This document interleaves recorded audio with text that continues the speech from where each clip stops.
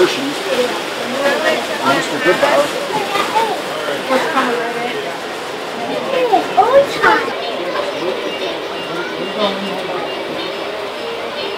So what you guys will see back there is Letchworth State Park.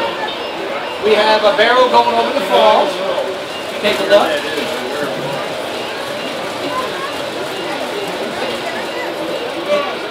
Is that cool? We did have somebody walk over Letchworth State Parkour. We do have a tightrope walker. Um, where Marketplace Mall is now is Highland Airport. The crash happened in East Rochester. And we have Starlight Drive-In down here. That actually happened. We have the newspaper articles to show. Only working firehouse in America. Um, that actually has the engine come out and fully lit, so you can press the button and see that.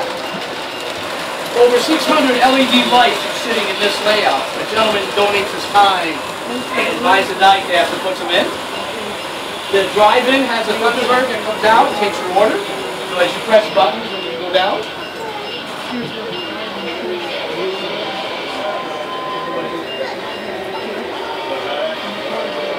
What's that? The drive-in Starlight, that was in what, Scottsville? Or Albany originally? Yeah, that's over in the Scottsville area. It used to be there. Here you go.